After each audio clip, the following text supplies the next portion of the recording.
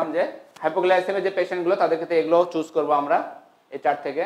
যে পেশেন্ট বারবার হাইপোগ্লাইসেমে নিয়ে আসতেছে ইডিমা থাকলে কখনো এগুলো দেওয়া যাবে না। জিআই এফেক্ট দেখেন মেটফর্মিন অনেক বেশি। এই জন্য এগুলো যে ড্রাগগুলো জিআই এফেক্ট আছে, সেগুলো কি লোড হতে শুরু করে ধীরে ধীরে ট্রাইটেট করতে হবে। কারণ শুরুতে যে আপসেট হয়, পরের দিকে যে অনেকটা অ্যাডজাস্ট হয়ে যায়। তাহলে এই ড্রাগগুলো মেগলিটল অ্যাকারবোজ অসিগ্লিটজন ইয়ে মেটফর্মিন এগুলো কি করতে হবে? লোড হতে শুরু করে ধীরে ধীরে ডোজ বাড়াতে হবে জিআই এফেক্ট কমানোর জন্য। লিভার টক্সিসিটি করে কিছু ড্রাগ করে নাকি, এটা জানতে হবে, তাই না? তাহলে রিপাগ্লিনাইড নেটাগ্লিনাইড মেটফর্মিন যদিও মেটফর্মিন আমরা সিএলডিতে অ্যাভয়েড করি ল্যাকটিক অ্যাসিডোসিসের কারণে। রসি পায়ও এগুলো দেওয়া যেতে পারে, কিন্তু ওই একই ঘটনা। সিএলডি পেশেন্টেরও ইডিমা হতে পারে এগুলো ইডিমা করে। এই জন্য আমরা আবার কিছুটা হেপারটক্স ইয়েও আছে কার্ডিয়াক টক্সিসিটির কারণেও ইডিমা করতে পারে। কাজেই এই ড্রাগগুলো আমরা কনফিউশন তৈরি করে যে কী কারণে ইডিমা হচ্ছে, এগুলো বন্ধ অ্যাভয়েড করি। তাহলে দেখি কি আমরা ইফেগ্লিনাইড নেটিগ্লিনাইড আর short acting insulin. Long acting ইনসুলিনগুলো আমরা অ্যাভয়েড করি। শর্ট অ্যাক্টিং সালফোনালিরিয়া বা রিফা গ্লিনাইড নেটাগ্লিনাইড এই তিনটা অরাল ড্রাগ আর শর্ট অ্যাক্টিং ইনসুলিন, এগুলো আমরা ইউজ করে থাকি সেল ডিভিশন কারণ ওর তো গ্লাইকোজেন স্টোর নাই, তাই না? গ্লাইকোজেন স্টোর না থাকার কারণে কি হাইপোগ্লাইসেমিয়া অনেক বেশি হয়ে যাবে। এই জন্য লং অ্যাক্টিং ড্রাগগুলো অ্যাভয়েড করতে হবে সিএলডির পেশেন্টকে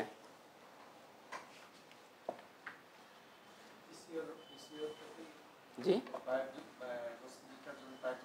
পিসওয়েস হ্যাঁ। দেওয়া হয় যে মেনফ্রনে মে চয়েস মেনফ্রন যখন টোলারেট করতে পারতেছে না তখন দেই। তখন দেওয়া যায় আমরা দেই।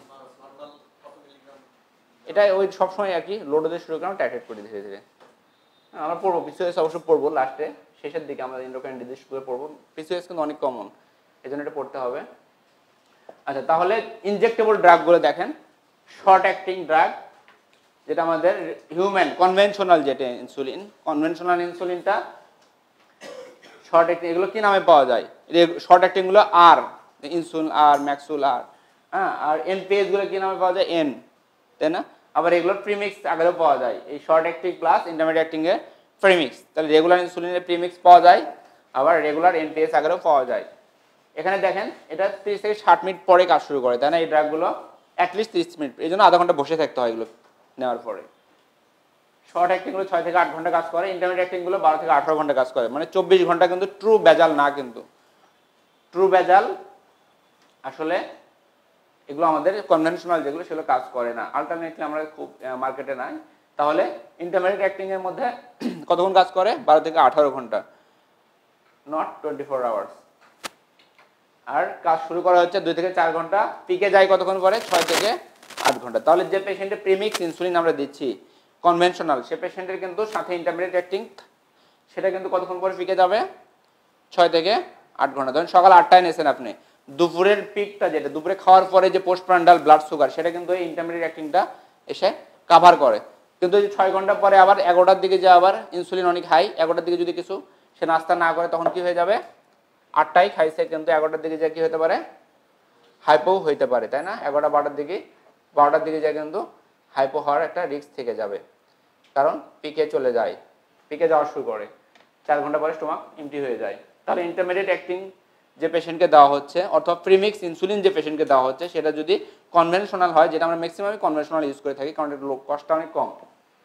সেক্ষেত্রে অবশ্যই মিড টাইম স্ন্যাক্সটা ফরজ, তাই না? ছয় বেলা খাওয়া তার জন্য কি? ফরজ। কারণ ওই পিকটা যাচ্ছে মাঝখানে। সকালে এবং দুপুরে খাওয়ার মাঝখানে পিকটা যাচ্ছে। আচ্ছা। অ্যানালগ অ্যানালগগুলো কিছু চেঞ্জ চেঞ্জ করে যেগুলো দেখা যাচ্ছে যে র্যাপিড মেনলি এগুলো কাজ দ্রুত করানোর জন্য করা হয়। কিছু চেন চেঞ্জ করে ইনসুলিনের সিকোয়েন্স সেখানে র্যাপিড অ্যাক্টিং করা হয়েছে সেগুলো অ্যানালগ সেগুলো কি সুবিধা? পাঁচ থেকে পনেরো মিনিটের মধ্যে কাজ শুরু করে। অর্থাৎ ইনসুলিন নিয়ে আপনি খাওয়া শুরু করতে পারেন। তাই না? তাহলে অ্যাসপার্ট অ্যাসপার্ট লিসপ্রো লিসপ্রো একটা অ্যাসপার্টকে আমাদের ডিউরেশন অ্যাকশন বাড়ায় কারা? জিঙ্ক পোটামিন সালফেট এগুলো, তাই না? তাহলে ওই অ্যাসপার্টের সঙ্গে যখন আমরা জিঙ্ক পোটামিন সালফেট এগুলো অ্যাড করতেছি, তখন একটা একটা রাখলাম হচ্ছে শর্ট অ্যাক্টিং করে রাখলাম, আরেকটা হচ্ছে ডিউরেশন বাড়ায়, সেটাকে কি করলাম? ইন্টারমিডিয়েট অ্যাক্টিং করে ফেললাম। সেম ফর্মুলেশন তাহলে অ্যাসপার্টি থাকল, জিনিসটা খালি ওর সঙ্গে পোটামিন যোগ করলাম বা জিঙ্ক যোগ করলাম করে ওর ডিউরেশন অ্যাকশন কি করলাম? বাড়ালাম। এখন যেটা ডিউরেশন অ্যাকশন বাড়ালাম ইন্টারমিডিয়েট করলাম, সেটাকে নিলাম সেভেন্টি পার্সেন্ট আর থার্টি পার্সেন্ট নিলাম পিওর অ্যাসপার্ট নিয়ে কী করলাম? প্রিমিক্স করলাম। তাহলে এই ফর্মুলেশনগুলোরও প্রিমিক্স পাওয়া যায়, তাই না? আমরা দেখব প্র্যাকটিক্যালি দেখব সেগুলো কী কী নামে পাওয়া যায়। তাহলে বাইফেজিক যেটা বললাম premix thirty seventy fifty fifty এগুলো যেগুলো পাওয়া যায়। দুই বেলা ইনসুলিন আমাদের বাঙালিরা কিন্তু তিন বেলা নিতে চায় না বা চার বেলা কখনোই নেয় না। দুই বেলায় বেশি, তাই না? এই জন্য আমাদের প্রিমিক্সই দিতে হয়। আর প্রিমিক্সের মধ্যে কনভেনশনের কথা আমরা বললাম যেটা সেটা সমস্যা কি হচ্ছে? হাইপো করার রিস্ক থাকে, তাই না?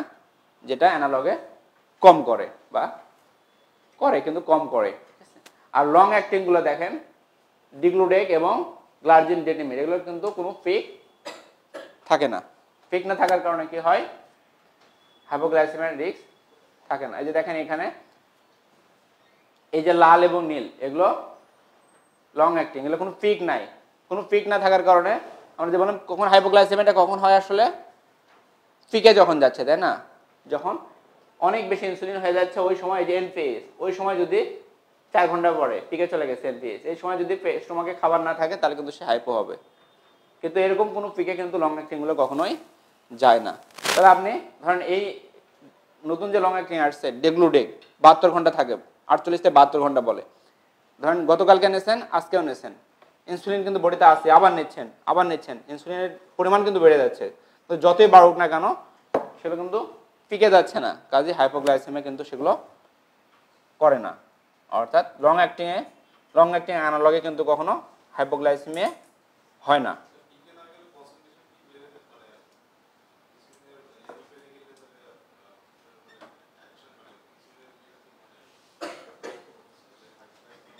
না হাইপোগ্লাইসেমিয়া করে না। কারণ হাইপোগ্লাইসেমিয়াটা আসলে স্টিডি স্টেট মেনটেন হলে ব্লাড সুগার মেনটেন করার জন্য আমরা বললাম যে অনেক হরমোন আছে কাউন্টার রেগুলেটরি হরমোন আছে, যেগুলো সবসময় সময় পাচ্ছে আপনার এটাকে স্টিডি স্টেট মেনটেন করার জন্য। হুট করে বেড়ে গেলেই ঘটনাটা সমস্যা তৈরি করে।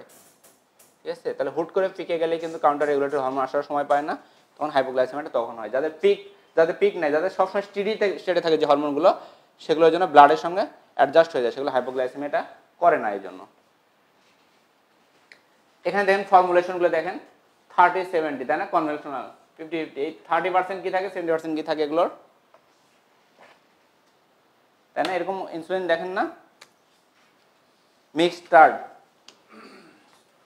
এবং নবমিক্স দুটোর মধ্যে ডিফারেন্স কি?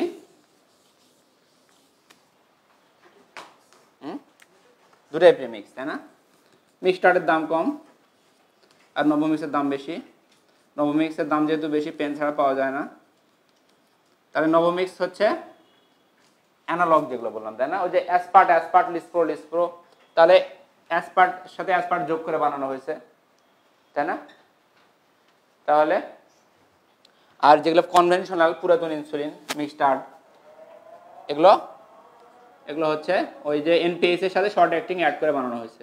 তাহলে থার্টি সেভেন্টি তাই না? এটারও থার্টি সেভেন থার্টি সেভেন্টির মধ্যে কোনটা কত পার্সেন্ট থাকে? Short acting thirty percent. কারণ সকালে নিল ওই থার্টি পার্সেন্ট সকালে কাজ করবে। আর এই সেভেন্টি পার্সেন্ট আপ টু রাত পর্যন্ত থাকবে, তাই না? এবং সেটার পিকটা কাভার দেবে দুপুরের পোস্টপ্রান্ডাল ভ্যালুটাকে তাই না? এটার পিকটা যেটা আমরা বললাম পিক হয়, এগুলোর একটা পিক থাকে। তাহলে যদি কোনো পেশেন্টের দেখতেছেন যে আপনি খাওয়ার পরেই মেনলি বেড়ে যাচ্ছে তখন সকালে খাইলো, সকালে খাওয়ার পর পরই বেড়ে যাচ্ছে। বেজালটা অতটা বাড়তেছে না। তাকে কোনটা দেবেন? তাকে কিন্তু ফিফটি ফিফটি দিতে হবে? দুপুরে একটা হয়তো অ্যাড করা লাগতে পারে short acting but seventy percent seventy পার্সেন্টটা কি? ইন্টারমিডিয়েট অ্যাক্টিং ইন্টারমিডিয়েট অ্যাক্টিংটা কি কন্ট্রোল করে আমাদের? বেজাল স্টেটটা কন্ট্রোল করে। মানে সেটা কিন্তু রাত পর্যন্ত থাকবে, বেজাল স্টেট যেটা। তাহলে বেজাল স্টেট যদি আমার ভালো ওয়েল কন্ট্রোল থাকে মেইনলি যদি আমার পোস্ট ফ্রান্ডালটাই বাড়ে, তাহলে আমি তো থার্টি ওই সেভেন্টি পার্সেন্ট আমার বেজাল দরকার নেই আমার।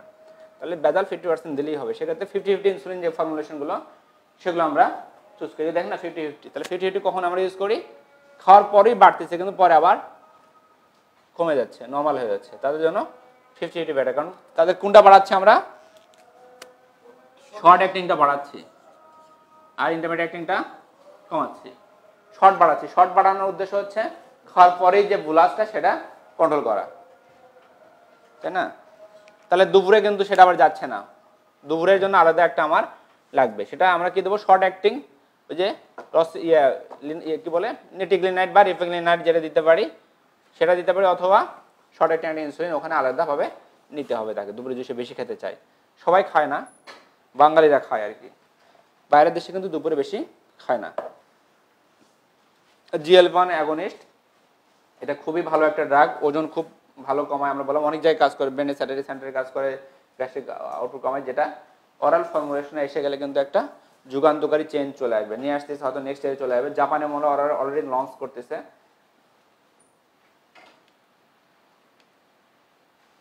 আচ্ছা কখন আমরা ইনসুলিন দেব?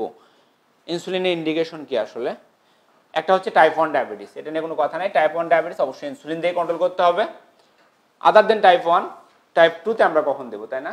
টাইপ টুর ক্ষেত্রে অ্যাকুট মেটাবলিক কমপ্লিকেশন নিয়ে যদি আসে। যেমন, কী কী কমপ্লিকেশন আছে acute metabolic complication D K অথবা এইচ এইচ এস এগুলো নিয়ে আসলে তখন আমাদের অথবা ল্যাকটিক অ্যাসিডোসিস এগুলো মেটাবলিক কমপ্লিকেশন এগুলো নিয়ে আসলে ইনসুলিন দিয়ে ম্যানেজ করতে হবে। প্রেগনেন্সি অ্যান্ড ল্যাকটেশন প্রেগনেন্সি আমরা জানি, কিন্তু ল্যাকটেশন কিন্তু আমরা কিন্তু, আমি অনেক প্রেসক্রিপশনই পাই যেটা হচ্ছে ল্যাকটেটিক মাদার অরাল ওএডি পাচ্ছে আর কি। অরাল ড্রাগ কিন্তু ল্যাকটেটিক মাদারদের দেওয়া যাবে না। Pregnancy and lactation only insulin even metformin প্রেগনেন্সিতে দেওয়া যায়। বাট ল্যাকটেশনে দেওয়া যায় না।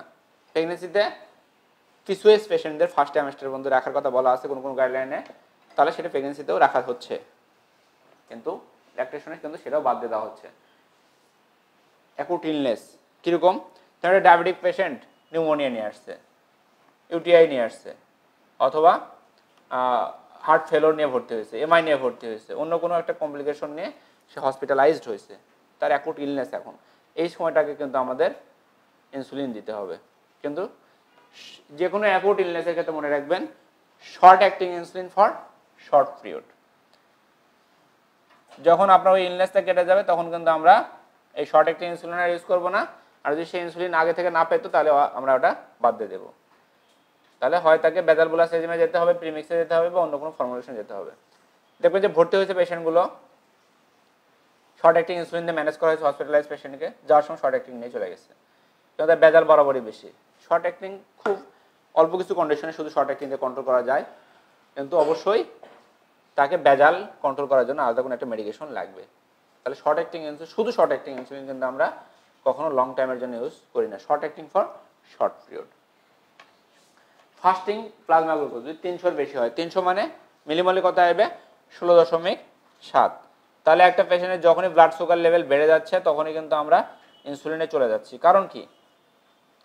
পেশেন্ট যদি বলে আপনাকে যে আমাকে তো একবার ইনসুলিন দিলে সারা জীবন নিতে হবে, আমি ইনসুলিন নেব না। ইনসুলিন না মানে last stage of diabetes control তাহলে আমি যদি ইনসুলিন নেই, আমাকে তো সারাদিন ইনসুলিন নিতে হবে, আমি ইনসুলিন নেব না। আপনি, ডাক্তার সাহেব, আপনি অরাল ড্রাগে দেন, অন্য একটা ড্রাগ দেন, নাহলে ড্রাগ চেঞ্জ করে দেন, আমাকে ইনসুলিন দিয়েন না। আপনি কি বলবেন? এটাই তো বলবে রোগীরা সাথে না? বলবে যে আমাকে ইনহেলার কেন দেবেন? ইনহেলারতে আমার শেষ কন্ট্রোল আমাকে অন্য ওষুধ দেন, মুখে খাওয়ার ওষুধ দেন ওটা দিয়ে কন্ট্রোল করি। ইনহেলার আমি নেব না। ইনহেলার নেওয়া তো মরার আগে নিতে হবে। আপনি কি বলবেন? মরার আগে ইনসুলিন নেব, এখন কেন নেব? আপনি কি বলবেন? ডায়াবেটিসের ক্ষেত্রে যেটা দেখা গেছে মেটাবলিক মেমোরি নামে বছরের পর বছর ধরে যে কিছু রিসার্চ করা হয়েছে ইউকেপিডিয়া স্টাডি তার মধ্যে অন্যতম, সেখানে দেখা গেছে যে যে পেশেন্টগুলোর ইনিশিয়ালি ওয়েল কন্ট্রোল করা হয়, তাদের পরবর্তীতে যদি কোনো কন্ট্রোলও না করা হয়, সে পেশেন্টের কমপ্লিকেশন আর ডেভেলপ করে না। আর যে পেশেন্টগুলো ইনিশিয়ালি আনকন্ট্রোল থাকে ভালো কন্ট্রোল থাকে না। তাদের ক্ষেত্রে পরবর্তীতে যত ভালো কন্ট্রোলই করা হোক না কেন কমপ্লিকেশনের প্রসেস একবার শুরু হয়ে গেলে সেগুলোকে আর স্টপ করা যায় না। অর্থাৎ আপনাকে ইনিশিয়াল কন্ট্রোলের প্রতি বেশি গুরুত্ব দিতে হবে। একটা পেশেন্টের শুরুতে যদি আপনি ইনসুলিন দিয়ে কন্ট্রোল করতে হয় ইনসুলিন দিয়ে কন্ট্রোল করে ফেলেন, পরবর্তীতে তার ইনসুলিন লাগবে এমন কোনো কথা নাই। পরবর্তীতে আপনি ইনসুলিন কেন, কোনো ওষুধই যদি না নেয়, তাও তার কমপ্লিকেশন তৈরি হওয়ার রেট কিন্তু অনেক কম। এটা কিন্তু আমার, আপনার কথা না, অনেক বছরের রিসার্চের কথা। তাহলে পেশেন্টকে কি বোঝাবো আমরা? পেশেন্টকে তো এসব কথা রিসার্চ দিয়ে বোঝানো যাবে না, তাই না? পেশেন্টকে বলতে হবে যে, আপনি যখন অসুস্থ হয়ে পড়েন, ধরেন আজকে আপনার জ্বর আসছে, এখন যদি আপনাকে আরও বেশি কাজ করতে দেয় আজকে, তাহলে কী হবে? আপনার অসুস্থতাটা আরও বেশি বেড়ে যাবে। এখন আপনার প্যানকেসটা একটু অসুস্থ, সে ইনসুলিন তৈরি করা কমাই দিচ্ছে কারণ আপনার প্যানকেসকে রেস্ট দিতে হবে।